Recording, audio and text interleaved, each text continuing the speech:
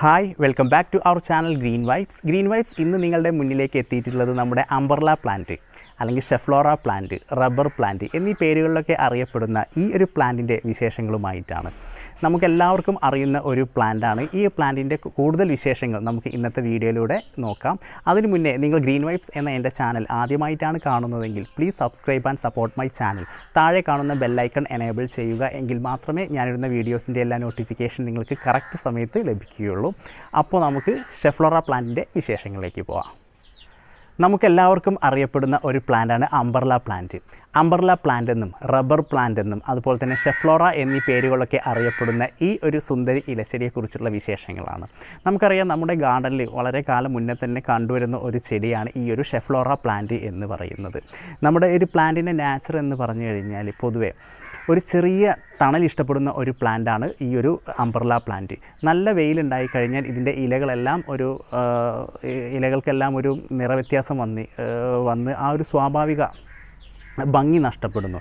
എന്നാൽ തണൽ വളരെയധികം കൂടുകയാണെങ്കിലോ ഇലകളിലെ ഈ ഒരു ലൈറ്റ് യെല്ലോ കളർ പാച്ചസ് മാറി ലൈറ്റ് അതൊരു ഗ്രീൻ കളറിലോട്ട് മാറുകയും ചെയ്യുന്നു.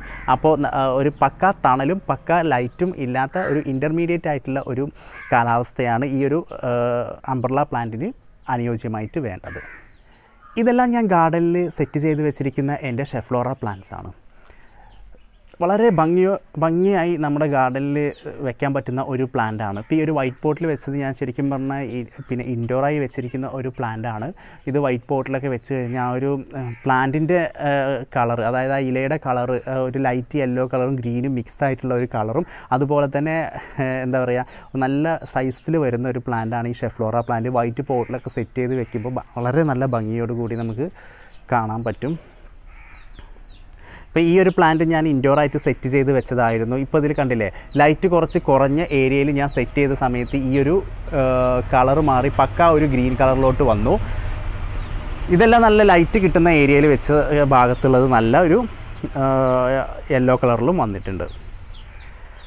നമ്മളിപ്പോൾ ഒരു വൈറ്റ് ബാക്ക്ഗ്രൗണ്ടിലൊക്കെ സെറ്റ് ചെയ്യാൻ പറ്റിയ ഒരു പ്ലാന്റാണ് നമ്മുടെ ഈ ഒരു ഷെഫ്ലോറ പ്ലാന്റ് ധാരാളം ഇല ഇലച്ചാർത്ത് എന്നൊക്കെ പറയില്ലേ നല്ല രീതിയിൽ ഇലകൾ തിങ്ങി വളർന്ന് നല്ല ഭംഗിയോടെ കാണും. ഒരു കുറ്റിച്ചെടിയായി വളരുന്ന ഒരു ചെടിയാണ് ഷെഫ്ലോറ പ്ലാന്റ് എന്ന് പറയുന്നത്. ഇപ്പോൾ ഈ ഇൻഡോർ പോട്ടിൽ ഞാൻ സെറ്റ് ചെയ്തിരിക്കുന്നത് ഡയറക്റ്റ് ആയിട്ട് അല്ലാതെ മറ്റൊരു പോട്ടിൽ സെറ്റ് ചെയ്തിട്ട് അതിൽ ഇറക്കി വെച്ചിരിക്കുകയാണ്. ഇതിന്റെ പ്രൊപ്പഗേഷൻ എന്ന് പറഞ്ഞാൽ കുറച്ച് ബുദ്ധിമുട്ടാണ്. നമ്മൾ സാധാരണ രീതിയിൽ സ്റ്റെമ്മ് കട്ട് ചെയ്തിട്ടാണ് ഇതിന്റെ പുതിയ തൈകൾ ഉൽപ്പാദിപ്പിക്കുക. പക്ഷേ ഇതിന്റെ സ്റ്റെമ്മ് കട്ട് ചെയ്ത് വെച്ച് കഴിഞ്ഞാൽ പിടിക്കാൻ വളരെ ബുദ്ധിമുട്ടാണ്. നമ്മുടെ ഈ മരച്ചീനിയുടെ ഒക്കെ പോലുള്ളൊരു പിന്നെ തണ്ടിന്റെ ഉള്ളിൽ ചെറിയൊരു ഓട്ട പോലെ ഉണ്ടായിട്ടാണ്. അപ്പോൾ നമ്മൾ എത്ര സ്റ്റെമ്മ് കട്ട് ചെയ്ത് വെച്ച് കഴിഞ്ഞാൽ പിടിച്ച് കിട്ടാൻ വളരെ പാടാണ്.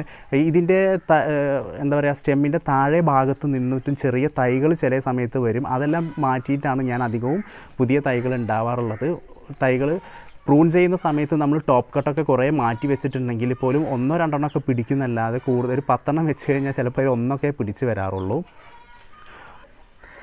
തണ്ടിൽ നിന്നും ധാരാളം റൂട്ടുകൾ വരും. കണ്ടില്ലേ? ഈ ഒരു ഭാഗത്തു നിന്നൊക്കെ ധാരാളം വേരുകൾ വന്നിട്ട് അത് മണ്ണിലേക്ക് ഇങ്ങനെ ഈ ആൽമരത്തു നിന്നൊക്കെ വരുന്നത് പോലെ തന്നെ ഈ പിന്നെ തണ്ടിൽ നിന്ന് താഴോട്ട് വേരുകൾ വന്നിട്ട് അത് മണ്ണിൽ പിടിച്ച് വളരുകയാണ് ചെയ്യുന്നത്.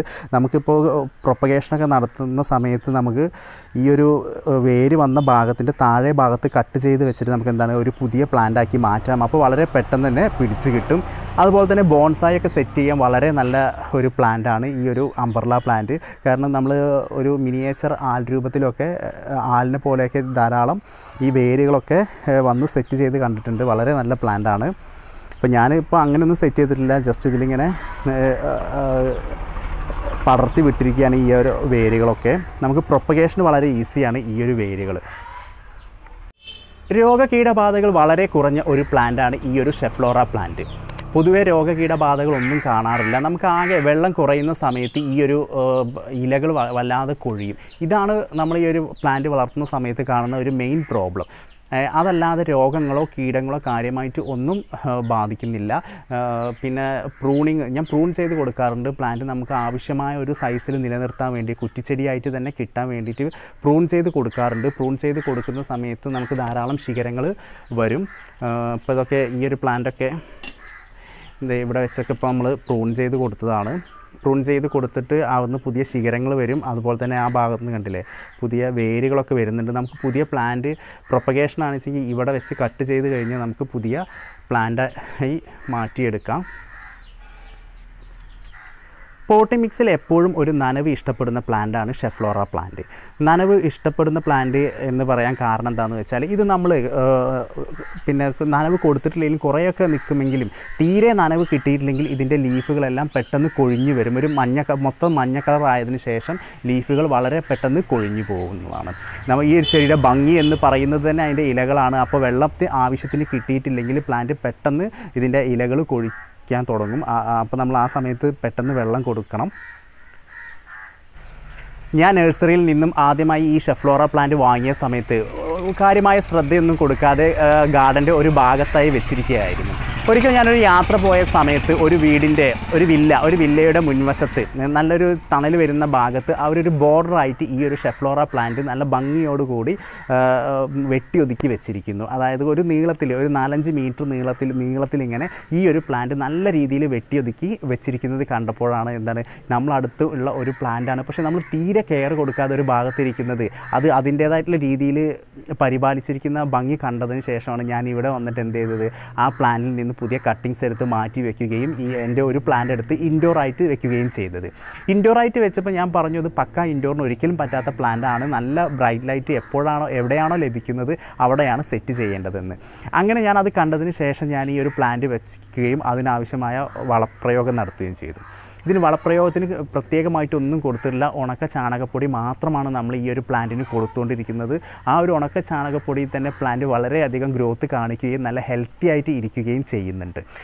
നമുക്ക് സെറ്റ് ചെയ്താൽ വളരെ അധികം ഇഷ്ടം തോന്നുന്ന ഒരു പ്ലാന്റാണ് ഇത് ഇത്രത്തോളം സ്ട്രെസ് ചെയ്ത് പറയാനുള്ള കാരണം എന്താണെന്ന് വെച്ചാൽ നമ്മൾ സാധാരണയായി കാണുന്ന ഒരു പ്ലാന്റാണ് ഈ ഒരു അംബർല പ്ലാന്റ് പക്ഷേ ഇതെല്ലാം നമ്മൾ അതിന് വേണ്ട രീതിയിലുള്ള ഒരു കെയർ കൊടുക്കാതെയാണ് എപ്പോഴും കണ്ടിട്ടുള്ളത്. നിങ്ങൾ നിങ്ങളുടെ കയ്യിലുള്ള പ്ലാന്റിന് നല്ല രീതിയിൽ കെയർ കൊടുത്തിട്ട് നല്ലൊരു പോട്ടിലോട്ട് മാറ്റിയിട്ട് അതിന് ഇഷ്ടപ്പെടുന്ന ഒരു കാലാവസ്ഥയിൽ വെച്ച് നോക്കും. നിങ്ങൾ തീർച്ചയായിട്ടും ഈ ഒരു പ്ലാന്റിന് നിങ്ങൾ ഇഷ്ടപ്പെടും. ഇതെല്ലാം പറയുന്നത് എന്റെ ഒരു അനുഭവത്തിൽ നിന്നാണ്. നമ്മളിപ്പോൾ ഇൻഡോർ ആയിട്ട് വെച്ച സമയത്ത് അധികം മാറ്റി സാധാരണ ഇൻഡോർ പ്ലാന്റ് ഒക്കെ വെക്കുന്ന സമയത്ത് നമ്മൾ എന്താ ചെയ്യാറ്? ഇടയ്ക്കിടയ്ക്ക് മാറ്റി കൊടുക്കും. ഈ പ്ലാന്റ് ഞാൻ അങ്ങനെയൊന്നും മാറ്റാറില്ല. ബാൽക്കണിയുടെ ഒരു ഭാഗത്ത് വെച്ചിരിക്കുകയാണ്. അവിടെ അതിനാവശ്യമായ ലൈറ്റ് കിട്ടുന്നത് കൊണ്ട് പ്ലാന്റ് നല്ല അടിപൊളിയായിട്ട് വളരുന്നുണ്ട്.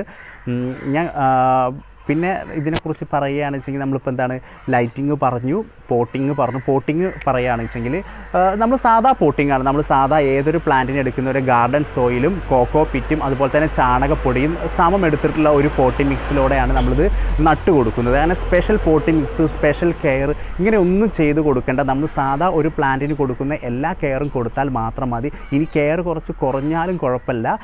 നമ്മളെന്താണ് ആവശ്യത്തിന് നന കൊടുത്താൽ പോലും പ്ലാന്റ് നല്ല രീതിയിൽ ഗ്രോത്ത് കാണിക്കുന്നതാണ്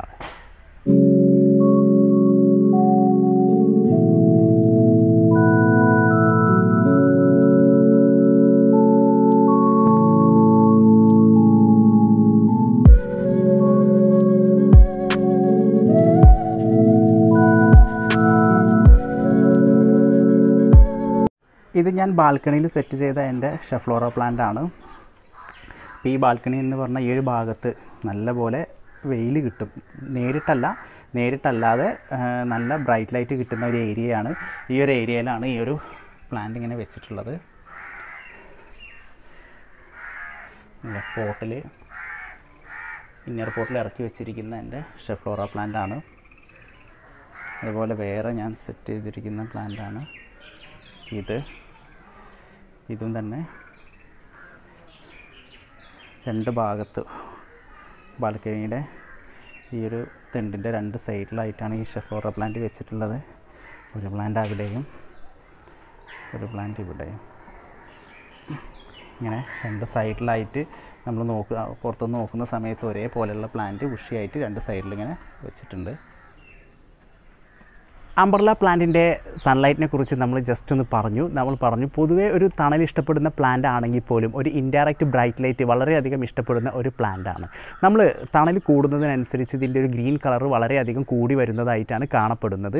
എപ്പോഴും നമുക്ക് നല്ല ഒരു പ്രസന്നമായ സൂര്യപ്രകാശം കിട്ടുന്ന ഒരു ഏരിയയിലാണ് നമ്മൾ ഈ ഒരു പ്ലാന്റ് സെറ്റ് ചെയ്യേണ്ടത്. ഈ പ്ലാന്റ് ഞാൻ ഇൻഡോർ ആയിട്ടും ഔട്ട്ഡോർ ആയിട്ടും സെറ്റ് ചെയ്തിട്ടുണ്ട്. ഔട്ട്ഡോറായി സെറ്റ് ചെയ്യുക എന്ന് പറഞ്ഞു കഴിഞ്ഞാൽ അത് ബാൽക്കണിയിൽ നല്ല ലൈറ്റ് കിട്ടുന്ന ഒരു ഏരിയയിലാണ് ഇത് സെറ്റ് ചെയ്തിട്ടുള്ളത്. കാരണം ഇൻഡോർ ആയിട്ട് പക്കാ ഇൻഡോർ ആയിട്ട് വെക്കാൻ പറ്റില്ല. കാരണം നല്ല ഇൻഡോറിൽ ലൈറ്റ് കുറയുന്ന സമയത്ത് ഇതിന്റെ ഇലകൾ വളരെ പെട്ടെന്ന് കൊഴിഞ്ഞു പോകുന്നതായി കാണുന്നുണ്ട്. അപ്പോൾ ബാൽക്കണിയിലൊക്കെ നമ്മൾ നല്ല ലൈറ്റ് കിട്ടുന്ന ഒരു ഏരിയയിലാണ് ഇത് ഇൻഡോർ ആയിട്ട് നമ്മൾ സെറ്റ് ചെയ്യേണ്ടത്. ഷെഫ്ലോറ പ്ലാന്റിന്റെ വിശേഷങ്ങളുമായി വന്ന ഒരു വീഡിയോയുമായിട്ടാണ് ഗ്രീൻ വൈബ്സ് ഇന്ന് നിങ്ങളുടെ മുന്നിലേക്ക് എത്തിയത്. വീഡിയോ നിങ്ങൾക്കെല്ലാവർക്കും ഇഷ്ടമായി എന്ന് കരുതുന്നു. വീഡിയോ ഇഷ്ടമായാൽ നിങ്ങൾ തീർച്ചയായിട്ടും ലൈക്ക് ചെയ്യുക. അതുപോലെ തന്നെ വീഡിയോയെക്കുറിച്ചുള്ള നിങ്ങളുടെ അഭിപ്രായങ്ങൾ കമന്റ് രൂപത്തിൽ രേഖപ്പെടുത്തുക. എല്ലാ പ്രാവശ്യവും പറയുന്നത് പോലെ ആദ്യമായിട്ടാണ് ഗ്രീൻ വൈബ്സ് എന്ന എന്റെ ചാനൽ നിങ്ങൾ കാണുന്നതെങ്കിൽ please subscribe and support my channel താഴെ കാണുന്ന ബെല്ലൈക്കൺ എനേബിൾ ചെയ്യുക. എങ്കിൽ മാത്രമേ ഞാനിടുന്ന വീഡിയോസിന്റെ എല്ലാ നോട്ടിഫിക്കേഷൻ നിങ്ങൾക്ക് കറക്റ്റ് സമയത്ത് ലഭിക്കുകയുള്ളൂ. അപ്പോൾ ഇതുപോലെ മറ്റൊരു വീഡിയോയുമായി നമുക്ക് കാണാം. അതുവരെ it's me Ajeesh signing out thank